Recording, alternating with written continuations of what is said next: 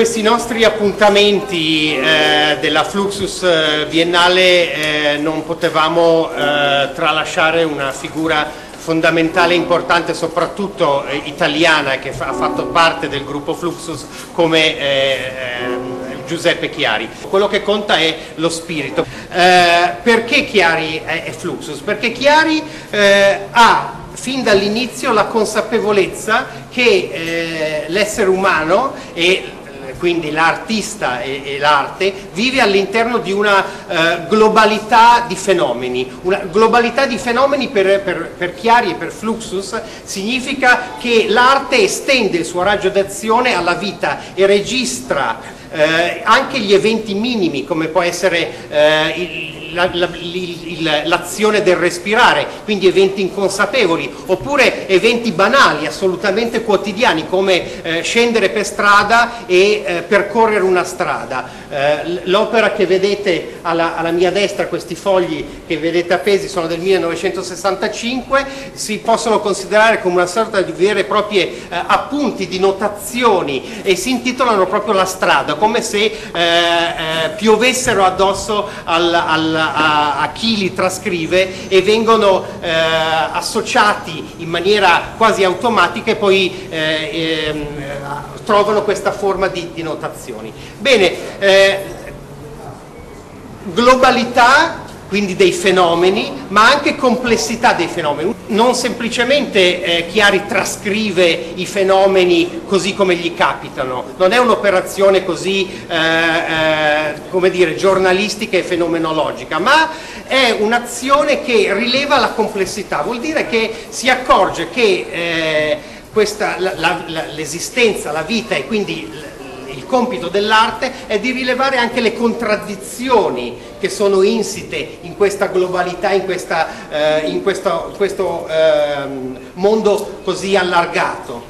Eh, per Giuseppe Chiari eh, oggetti che hanno una valenza funzionale precisa dal punto di vista musicale come degli strumenti veri e propri possono essere usati come eh, oggetti senza questa valenza musicale e, dei, e, e, al contrario degli oggetti che non hanno nessuna eh, valenza simbolica possono diventare oggetti d'uso eh, musicale. Uh, guardate per esempio il, quel, quel pianoforte che è alle vostre spalle. Innanzitutto è difficile da suonare così come si potrebbe suonare tradizionalmente perché la tastiera è quasi appoggiata al muro. E poi è presentato quasi decomposto quindi con sua, col suo coperchio aperto e ma non semplicemente aperto ma tolto e appoggiato di fianco ecco quindi che l'oggetto diventa qualcos'altro e se l'oggetto è qualcos'altro e naturalmente l'oggetto pianoforte è un oggetto con una forte valenza simbolica eh, tra, dal punto di vista della tradizione musicale, ma se l'oggetto è qualcos'altro chiaramente cambia anche chi si appropria dell'oggetto, chi usa quell'oggetto. Nelle eh, fotografie che sono nella sala alle mie spalle e che si riferiscono a gesti sul piano, vedete l'artista che eh, usa un pianoforte eh, verticale in una maniera totalmente eh, anticonvenzionale, stendendosi su di esso, lavorando coi gesti, con le braccia,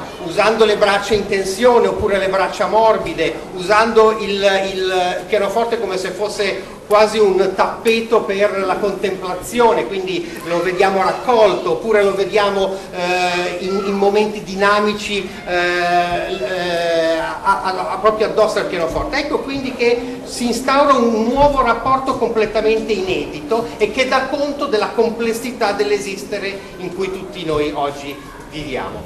Grazie. Alvin Carran mi sono incontrato con Giuseppe nel 1965 qui a Roma, ha un grande ruolo nella mia vita, non solo eh, eh, eh un influsso artistico, spirituale, eh, assurdo. Mi mostrava una strada eh, che si chiama l'avanguardia, è ancora viva, ancora lì, ancora trovabile, ancora percorribile. E dopo Giuseppe eh, rimango io felicemente sulla stessa strada.